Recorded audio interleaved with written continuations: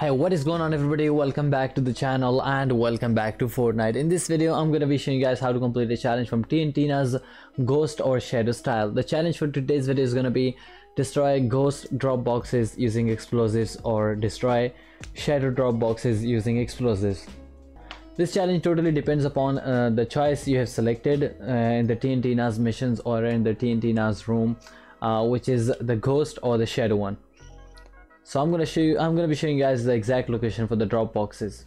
So this is going to be the exact location on the map as you can see over here. So i didn't actually get the chance to uh, uh, select a ghost or shadow but for the brutus i actually selected the ghost one.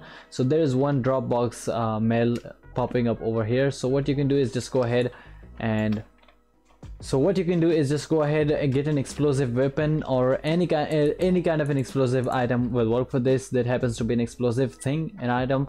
Uh, so just throw it and destroy that thing. It'll be destroyed. Uh, I have a ghost popping up over here the ghost drop box uh, if you have selected the shadow one you'll actually get a drop box right over here. Uh, so I'm gonna be showing you as the second location. Now this is actually located in the frenzy farm the second one is gonna be uh, located right exactly over here on the map.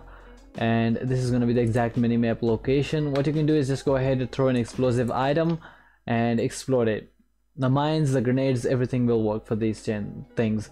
Uh, i didn't actually get the chance to select the shadow or the ghost one so that's why it's not getting destroyed.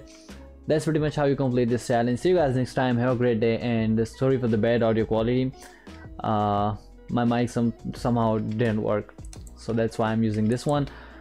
See you guys next time. Have a great day and goodbye